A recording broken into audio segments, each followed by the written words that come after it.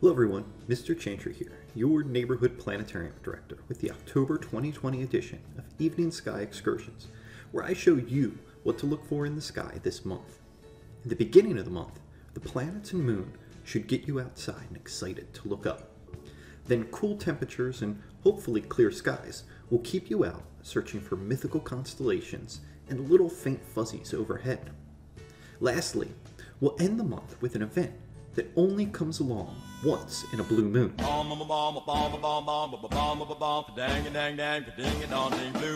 No, literally, it's a blue moon. Well, it's not literally blue, but it is literally called a blue moon. But actually, it's not really the true blue moon. But it is. We'll get to that later. At the beginning of the month, the sun sets around 6:45 p.m and by the end of the month we'll set just before 6 p.m. As the days get noticeably shorter, we only have to wait until about 8 p.m. to get really dark skies.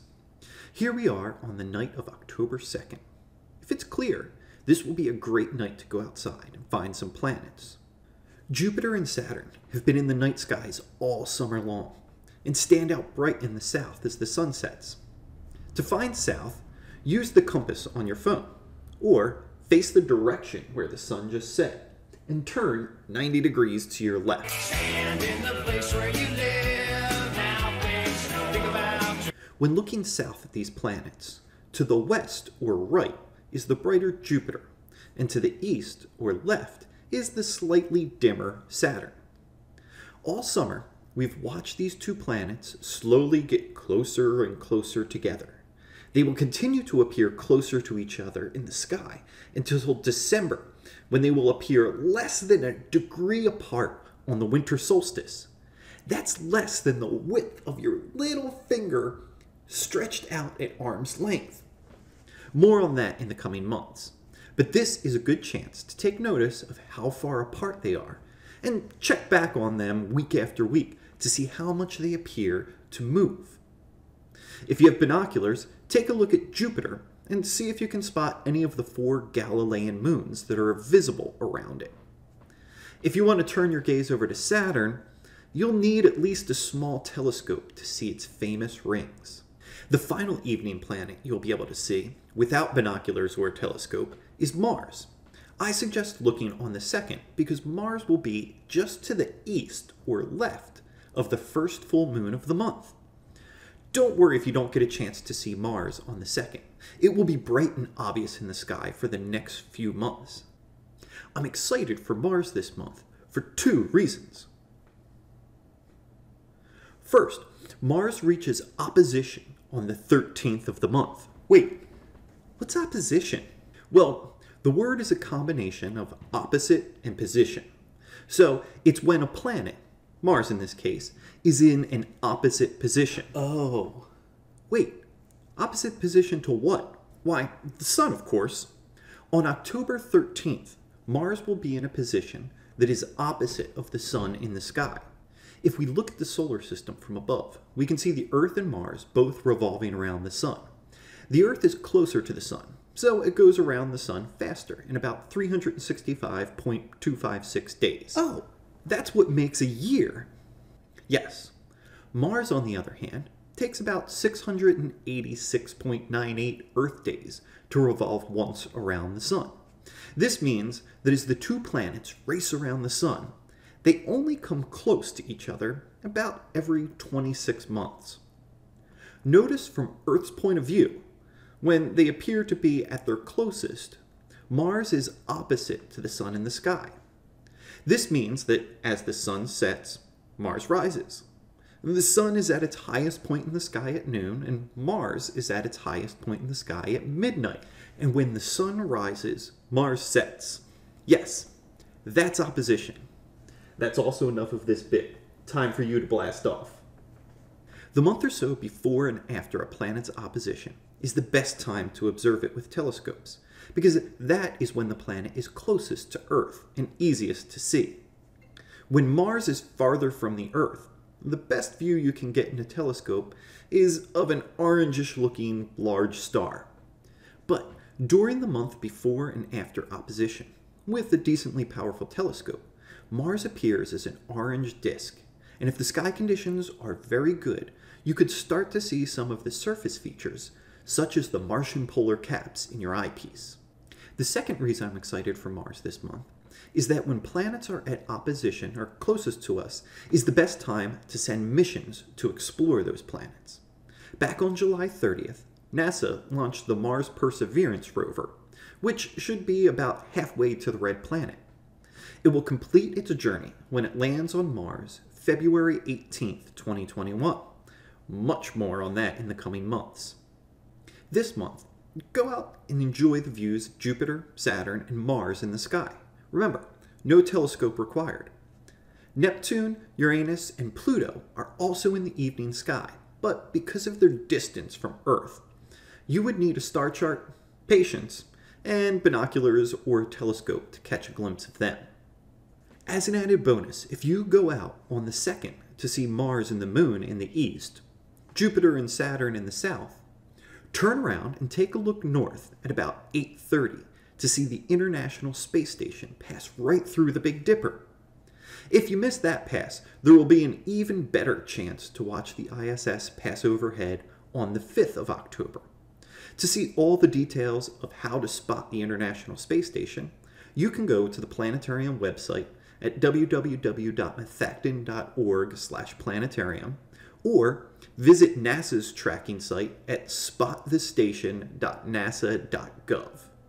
Now, on to that moon and how it will not be the color blue. The moon is officially full on October 1st, and this is sometimes called the harvest moon. Then, on October 31st, Halloween, it will be full again. When one calendar month has two full moons in it, this is what is typically referred to as a blue moon. The moon's cycle of phases, from one full moon to the next full moon, takes 29.5 days. And our modern calendar is made of months of 28, 29, 30, or 31 days. This means that typically there is only one full moon in a month. But every once in a while, every two or three years, when a full moon occurs at the very beginning of a month, we can get a second full moon in before the end of the month. So, why do they call it a blue moon if it's not blue? Well, the phrase has its origins in the 1500s.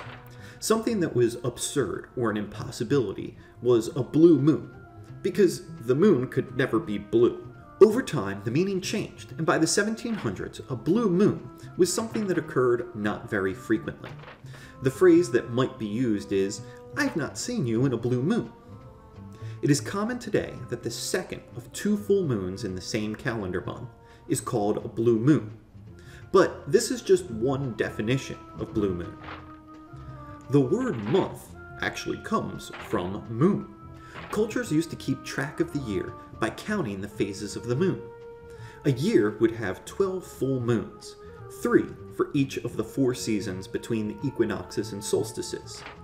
But the 29.5 day cycle of the moon does not divide evenly into the 365.256 day cycle of the year. So every two to three years, you would have an extra full moon in your year. The original blue moon was the third full moon in a season that has four full moon. That blue moon doesn't occur until August of next year, when we'll probably have this discussion all over again. Now that you're thoroughly confused, be sure to look up on the 31st, Halloween, and see the blue moon, which won't actually be blue, but is called a blue moon, but isn't actually the blue moon. Blue moon. After you've stared at our closest celestial neighbor, the moon, which is hundreds of thousands of miles away, then moved further out into space to spot some of the planets that are millions and billions of miles away, if you're still wanting more from the night sky, I'll give you a challenge. You can use some of our fall constellations and a pair of binoculars or a telescope to spot our nearest galactic neighbor, the Andromeda Galaxy, that is 2.5 million light years away. In miles, that would be 90 sextillion. That's 9 with 23 zeros after it. When you look straight up after sunset, you should see the three bright stars that form the asterism the summer triangle. The triangle appears to point down to the bright planets Jupiter and Saturn. To the east or left of the summer triangle is another basic shape, a square. We call this the Great Square of Pegasus because it is part of the constellation Pegasus and forms the body of the mythological flying horse. Once you have found the square about halfway up in the sky in the east, look to the east or left of the square for the W shape that marks the constellation Cassiopeia. The faint fuzzy patch, which is the Andromeda Galaxy, is in the sky between these two constellations. Use the upper triangle of the W and the bottom left corner of the square to point you to the spot in the sky between these two shapes. If you scan that portion of the sky with a pair of binoculars, you should be able to make out a faint fuzzy patch. Honestly, it does not look that impressive until you realize that the light you are seeing is from trillions of stars and has traveled through space for 2.5 million years and is just now hitting your eyes. Yeah, it can take some practice to find, so don't be disappointed if it takes a few nights before you find. You should have plenty of clear nights this month to practice. If you would like to know more about the constellations in the sky, you can visit the new planetarium website at www.methacton.org slash planetarium. Well, that wraps it up for this month. I really hope you get the opportunity to take a look at the moon, the planets, and all of the amazing views in your own backyard. Remember to go outside and look up, be amazed, and most importantly, be excellent to each other.